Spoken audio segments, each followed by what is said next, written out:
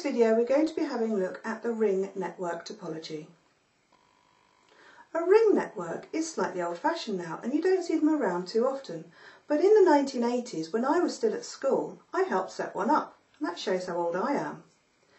The ring network is set up by creating a constant loop. So each device on the network, or node, is connected to two other nodes, and that creates one loop.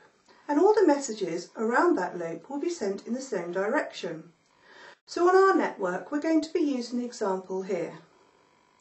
Computer A wants to send the message through to computer B, and it's got to get through the other two nodes on the way to do this. So it'll send the message first of all to the printer and then to the server on our example and then it gets to its destination computer. However, that's not the end of it. What actually needs to happen is that destination computer, in our case computer B, needs to send a message back to computer A to tell it that it's received the message correctly and to stop trying to send it now.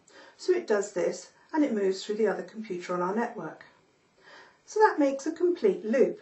Now this is fine as long as all computers on the network and all devices are working correctly. However, if one of the devices goes down, then it causes problems for the entire network. If, for instance, our printer stopped working, then that original message would never get to computer B. So computer A would keep trying, but it would never get through. If the computer goes down after the one that's received the message, then the message to get back to say that it's received it will not be able to get through either.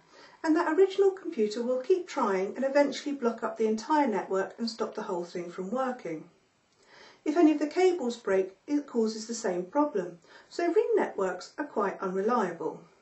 And that's why they're not used very often these days, but they are incredibly easy to set up. So they're acceptable for very small networks.